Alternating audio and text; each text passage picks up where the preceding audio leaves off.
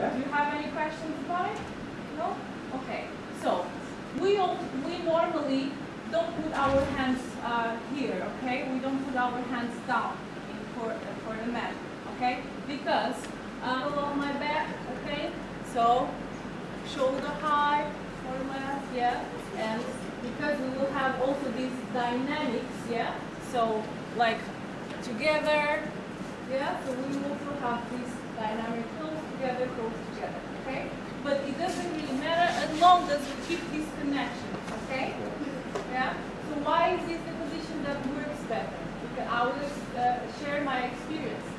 By having my hands uh, here, okay, I can kind of read the Mara's movements if we have, if we are not uh, chest to chest, if we don't have this connection, okay? So I can also read the connection if we are just chest to chest, I can also read the connection.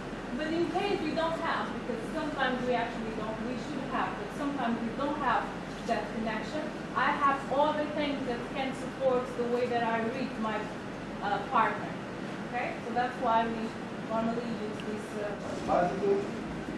Né? Um, dois, três, quatro, cinco,